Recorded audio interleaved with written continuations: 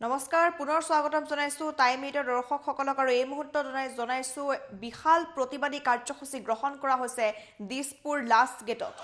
আৰু পৃথক কমতাপুৰৰ দাবীত তীব্ৰ প্ৰতিবাদ সাব্যস্ত কৰা হৈছে। গুৱাহাটী মহানগৰীৰ দিছপুৰ লাষ্ট গেটত এইসকল লোক ওলাই আহিছে তেওঁলোকে প্ৰতিবাদ সাব্যস্ত কৰিছে। সদৌ অসম কোচ ৰাজবংশী ছাত্ৰ সন্থাৰ এয়া বিক্ষোভ আৰু জনজাতিকৰণ প্ৰদান কৰাৰো দাবী কৰিছে ছাত্ৰ সন্থাই। আমি দেখুৱাই আছো আপোনালোকক পৃথক কমতাপুৰৰ তেওঁলোকৰ দীৰ্ঘদিনীয়া দাবী আছিল। সেই দাবী তেওঁলোকে পূৰণ কৰাৰ কথা বাৰে বাৰে চৰকাৰক আহ্বান জনাইছিল। কিন্তু তেওঁলোকৰ সেই আহ্বানৰ প্ৰতি আওকাণ কৰিছে বুলি তেওঁলোকে অভিযোগ উত্থাপিত কৰে বিভিন্ন সময়ত। আৰু জনজাতিকৰণৰ দাবীও তেওঁলোকে বিভিন্ন সময়ত উত্থাপিত কৰে।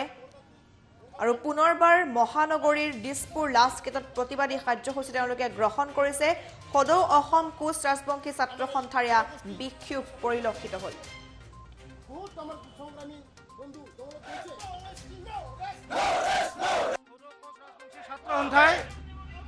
দিছপুৰত আজি আন্দোলন কৰিবলগীয়া হ'ল।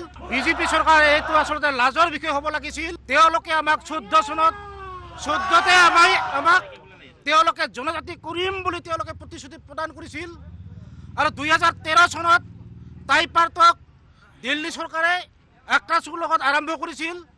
কিন্তু এই নতুন চৰকাৰ এই বিজেপি চৰকাৰ বৰ্তমান টাই টাইপাৰ্টক বন্ধ কৰি দিছে। আৰু জনজাতিকৰণ কৰিম বুলি কৈও তেওঁলোকে বৰ্তমানলৈকে জনজাতিকৰণ নকৰিলে।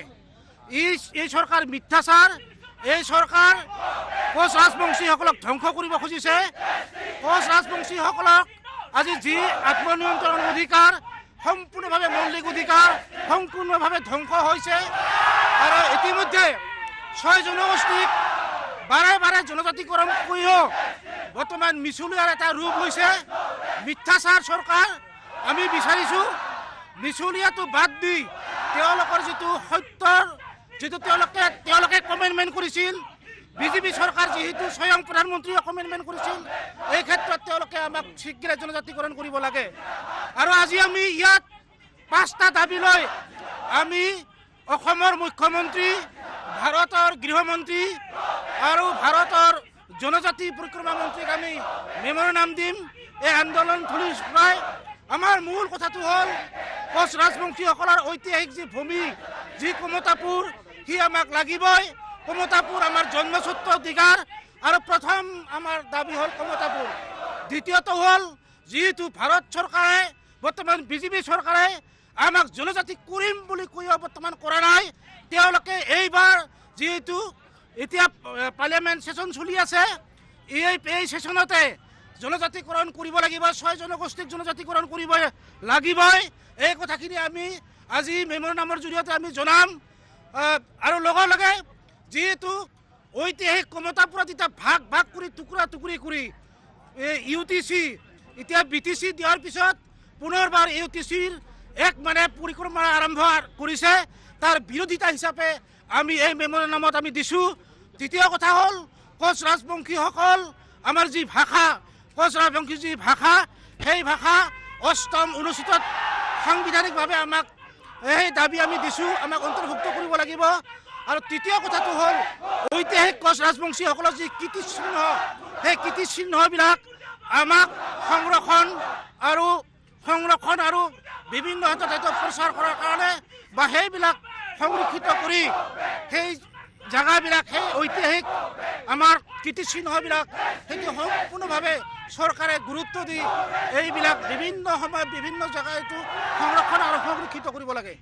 নহয় এই ক্ষেত্ৰত তেওঁলোকে অসমৰে তেওঁলোকে জনগোষ্ঠী আৰু আমি অসমৰে জনগোষ্ঠী আমিও ভূমিপুত্ৰ।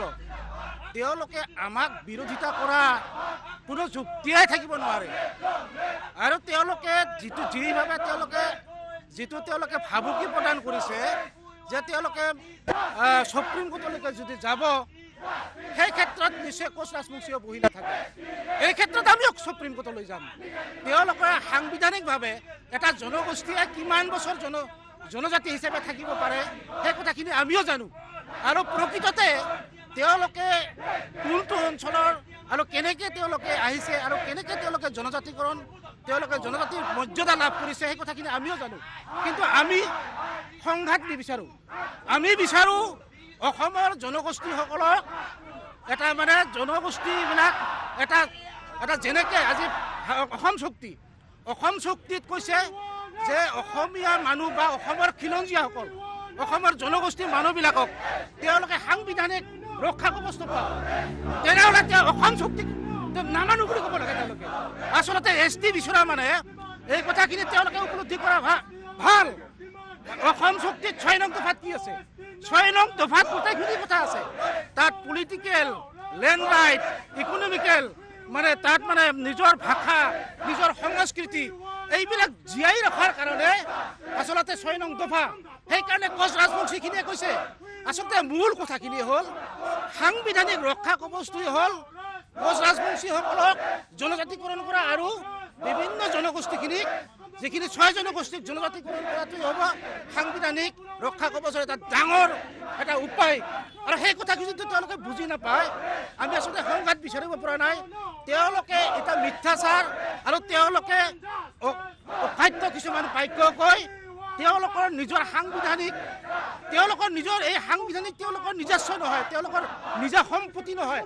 ভাৰতবৰ্ষৰ সংবিধানখন তেওঁলোকৰ নিজা নিজা পিতৃক সম্পত্তি নেকি? তেওঁ যিকে কৰিব খোজে সেইকে কৰিব পাৰে। আচলতে গণতান্ত্ৰিক আন্দোলনে সেই কথাখিনি আমি ক'ব খুজিছোঁ। এতিয়া কথাটো হ'ল তেওঁলোকে যুক্তিটো খাব পাৰে আমিও যুক্তিটো খাব পাৰোঁ।